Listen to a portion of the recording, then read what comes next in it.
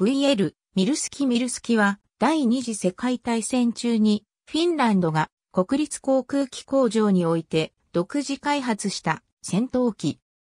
フィンランド軍は1939年から翌年にかけてのソ連との冬戦争では英仏など西欧の援助を受けたが、その後ナチスドイツと接近し空軍力も独位の援助を受けるなど雑多な機種を装備して第二次世界大戦を戦った。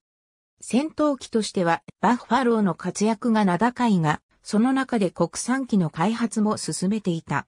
それが本機とその後継機ピョレミルスキーである。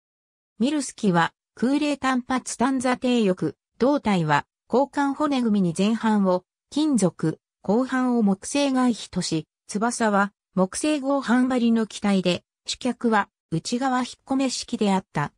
試作型のミルスキー1は、膠着装置や合板の接着に問題があって4機しか作られず、改良型のミルスキ2は1944年になって、ようやく完成した。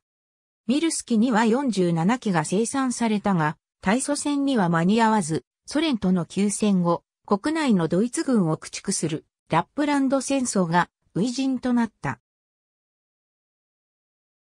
第二次世界大戦終結時には最終型のミルスキ酸が生産に入っていたと伝えられる。